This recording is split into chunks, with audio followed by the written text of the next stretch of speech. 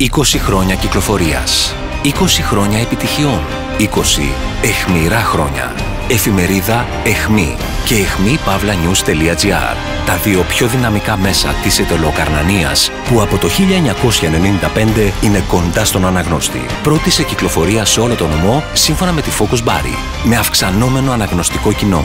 Αγοράστε τη στα περίπτερα μόνο με ένα ευρώ ή γραφτείτε συνδρομητέ.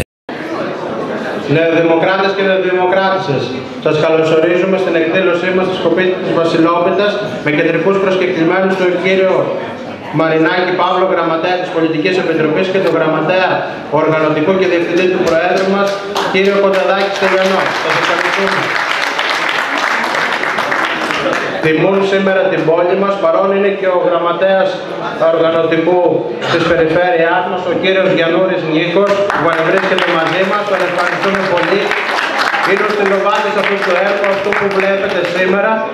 Σε αυτούς τους ανθρώπους χρωστάμε το έργο αυτό το οποίο βγαίνει προς τα έξω στην κοινωνία των κομματικών οργανώσεων. Είναι οι στυλοβάτες. Τους ευχαριστούμε πάρα πολύ που είναι δίπλα μας οτιδήποτε χρειαστούμε. Όλοι μαζί θα δώσουμε τον αγώνα για την αυτοδυναμία, για τον Πρωθυπουργό μας, τον Κυριάκο τον Μητσοτάκη, να, να συνεχίσει το αναπτυξιακό και μεταρρυθμιστικό έργο για τη χώρα μας. Όλοι μαζί μια γροθιά για την αυτοδυναμία. Σας ευχαριστούμε πάρα πολύ που είστε σήμερα εδώ μαζί μας. Το λόγο έχει ο πρόεδρος της ΔΕΠ Εντολοκαρνανίας, κύριος Σακαρέλης Γεώργιος. Σας καλωσορίζω στην ιερή πόλη Μεσολογγίου στην πόλη που δίδαξε την παγκόσμια κοινότητα τι σημαίνει να αγωνίζεσαι για την πατρίδα, να μάχεσαι για την ελευθερία, τη δικαιοσύνη, την ανθρώπινη αξιοπρέπεια. Σας καλωσορίζω και σας καλώ να δώσετε το σύνθημα του αγώνα της παράταξής μας για τις ερχόμενες εκλογές. Η μεγάλη μάχη είναι πάρα πολύ κοντά. Οι πολίτες της χώρας πριν τέσσερα χρόνια μας έδειξαν εμπιστοσύνη και μας έφεραν στην κυβέρνηση.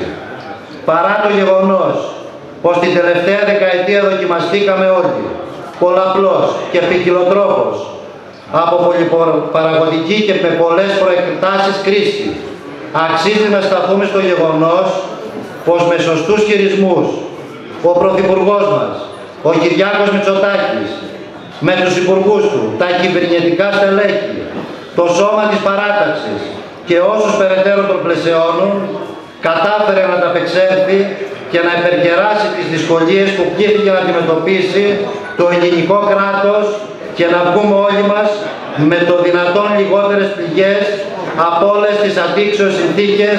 Να σας ευχαριστήσουμε μαζί με τον Γραμματέα για την θερμή αυτή υποδοχή ένα πρωινό στα μέσα του χειμώνα να συγκεντρώνονται τόσα άτομα, τόσοι αγωνιστές και αγωνίστρες της Νέας Δημοκρατίας σε μια επαρχιακή πόλη όπως είναι το ηρωικό Μεσολόγγι, όπως είπαν και ο προλαλής σας πρόεδρος της Νομαρχιακής, να ευχαριστήσω και να συγχαρώ όμως συγχρόνως τον πρόεδρο της Νομαρχιακής, τον Γιώργο τον Σακαρέλη, που στο λίγο χρονικό διάστημα που έχει αναλάβει η πρόεδρος έχει επιδείξει ένα τεράστιο έργο στην περιοχή του νομού Ετελοκαρνανίας και ένα μεγάλο μεγάλο πρότυπο στο συμπατριώτη σας, τον Μεσολογγίτη εδώ πέρα, τον πρόεδρο της, της τοπικής, τον Λάμπρο τον Κοντομπίτσο, ένα νέο παιδί νέο σε ηλικία, αλλά μεγάλο και έμπειρο αγωνιστή.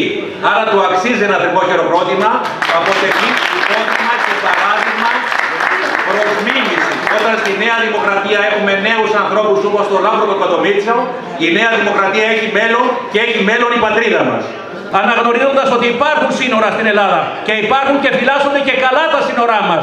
Όταν κάποιοι έλεγαν ότι δεν υπάρχουν σύνορα, υπάρχουν και θαλάσσια και ένα έργα και χερσαία σύνορα και φυλάσσονται μάλιστα και πάρα πολύ καλά. Ποιος μπορεί να μην, να μην παραδεχτεί ότι η χώρα μας πλέον από ουραγός στα προηγούμενα χρόνια έγινε πρωτοπόρος; Ποιος μπορεί να, να μην παραδεχτεί ότι η χώρα μας στα διεθνή φόρα πλέον δεν είναι ο περίγελος, ο διεθνής περίγελος όπως ήταν στα προηγούμενα χρόνια; Ποιος δεν μπορεί να δεχτεί ότι τα προηγούμενα χρόνια να στέλναμε έναν πρωθυπουργό που δεν μπορούσε να μιλήσει αγγλικά.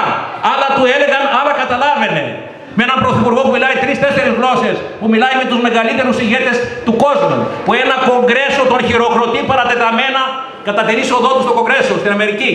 Γιατί αυτή είναι η διαφορά της Νέας Δημοκρατίας, φίλες και φίλοι.